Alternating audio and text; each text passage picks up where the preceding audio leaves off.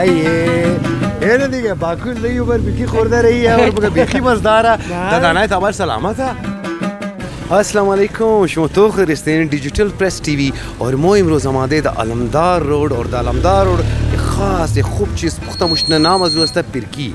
اور پرکی پرکی کی است آزرگی یک گونه خوراک است باین دیگه موم تو خنی شموم تو خنی که زایکی ازی چطور است دراز عرصه کی پخته شتری چی است باین دیگه کدوم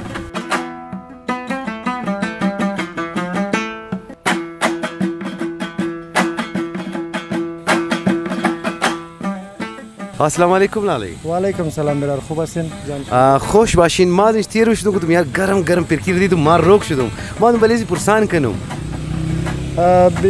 بسیار خوب گپ است برار این پرکیک است یک بسیار کنه خوراک گازرگی است که از دوران بسیار سابق ایمانی مردم رواج داشته اینا در پروگرام های مختلف همیتر گیدرینگ های ریزه باشد یا کلان باشد موش از پرکی استفاده کنم و یا یک گوجه یک چکر مورن هم مردم برای برای خود خود پرکی مبره برای از که از اینا استعمال کنن.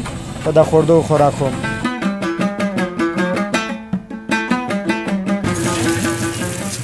اینجی کزمو که است چند نفر موجود است پرکی خورداریا با این شما نشان می‌دید زن پرسانم کنی السلام علیکم. باکل خوبی؟ سلام خیریت. اول شم خوبه؟ بخیر است ساعتم خوبه؟ پرکی خورداری است فرمایید انت با آلی خوردم. بیخی مزه انت با مزه.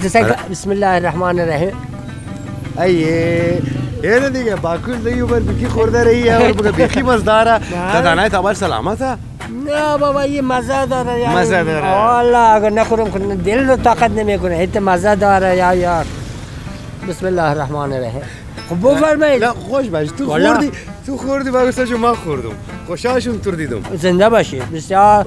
بسیار خوش آمدی واقعا منم خوشحال هستم که در پالوی شما شدم همین روزی پیرکی هنوزم مزهش زیادتر شده از این پیش اون مزهی که داشت در خیال ما مردم آلوی حبیب که بله. خوش باش مهمان حبیب خدایا